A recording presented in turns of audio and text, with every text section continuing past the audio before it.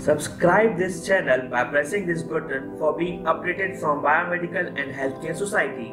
Hello guys, this is Amit over here and you are watching Techomed. In this video, we're gonna discuss about biomaterials. So let's get started.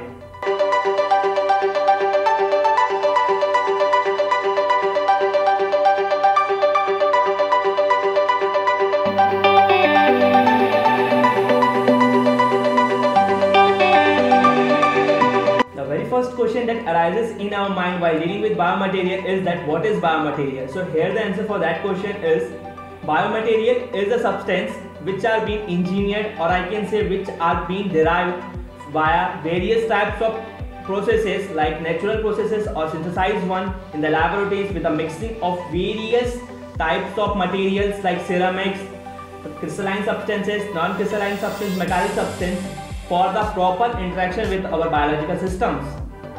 I know this definition is bit longer. Let's short it and have a smaller definition for that. Biomaterials are those substances which are being engineered for the proper interaction with our biological system, mainly for the diagnosis or therapeutic purposes.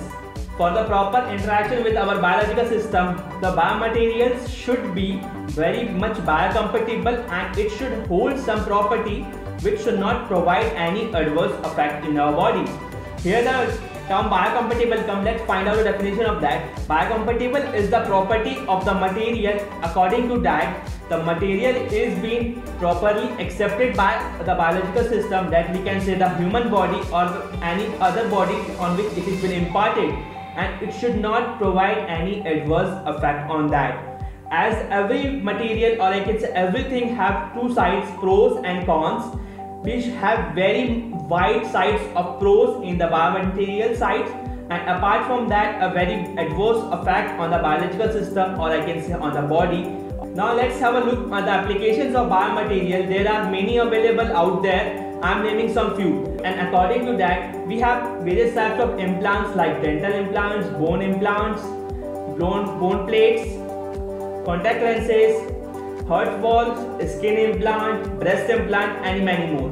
So that's all about the definition and application of biomaterials. I hope you guys might have understood what I'm trying to convey to you.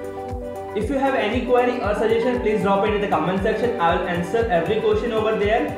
If you have not subscribed to this channel, you can do it by pressing this button.